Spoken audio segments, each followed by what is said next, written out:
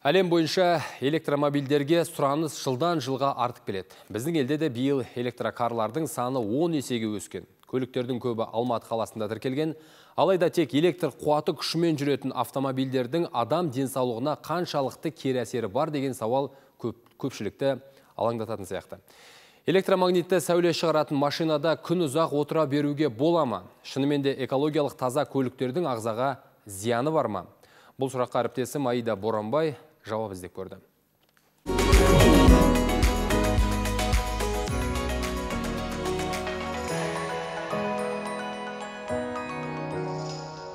Электр қуатымен жүретін көлік ішінде ұзақ уақыт отыру адам денсаулығына зиян. Осындай сарындағы күмәнді ақпарат әсіресе әлеуметтік желі қолданушылар арасында жиі әрі қызу талқыланады. Ал алматы тұрғыны жанел әліштің электрокар тізгіндеп жүргеніне бір жылға жуықтапты күнделікті балаларын мектеп пен балабақшаға таситын тұрғын көліктің денсаулығына кері әсерін әзірге байқамаған. Алайда электромобильге ауысқан таныстарының арасында көлікте күн ұзақ отырса бастары ауырып өздерін жайсыз сезінетіндерін естіген екен. Осы электромобильді айдағаныма бір жылдай болып қалды. Ешқандай кері әсерісін сезген жоқпын. Бірақ бір құрбыларым айтады бас ауырады деп. Ондай бірақ өзімде сезілген жоқ ештеңке. Менің қасымда 200-ден аса көлікке автошолу жасаған белгілі автоблогер олжас оқас тұр олжас айтшы мына электр қуатымен жүретін электромобильдердің адам денсаулығына қандай зияны болуы мүмкін? Енді сұраныстың артуына байланысты өзің де көп шолу жасап жаңалықтарын қалт жібермей жүрген шығарсың.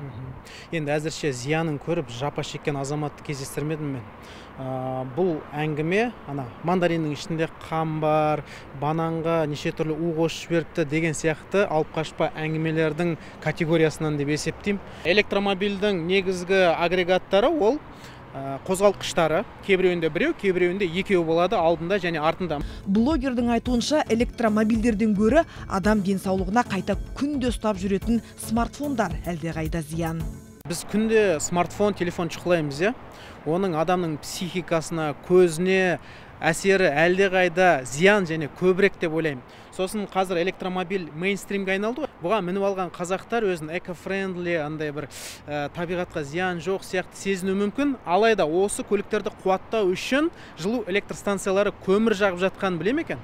Міне осы үлкен мәселе алматыны ә, көмірден газға ауыстыру керек. Білікті дәрігер нейрохирург мыңжылқы бердіқожаев электромобильдерден шығатын магнитті сәулелерден гөрі смартфондардың адам денсаулығына зияны көбірек дегенмен келіседі. Әрине қазір күнделікті өміріміздің барлығы электромагнит болып кетті ғой.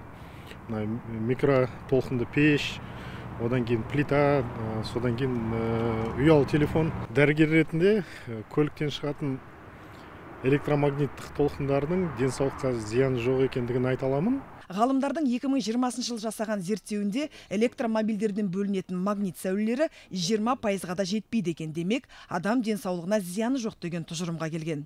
Сондықтан мұндай көлік ішінде қанша отырсаңыз да денсаулығыңызға кері әсері болмайды деп топшылайды. Қалай болғанда да әлем бойынша электрокарларға сұраныс артып келеді оған сандар дәлел.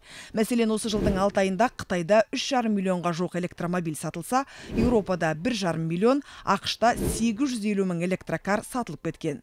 Ал халықаралық канализ зерттеу компаниясы жыл соңында электрокарлардан сату көрсеткіші өткен жылмен салыстырғанда 39 пайызға көп яғни 14 миллионға жетеді деп болжайды.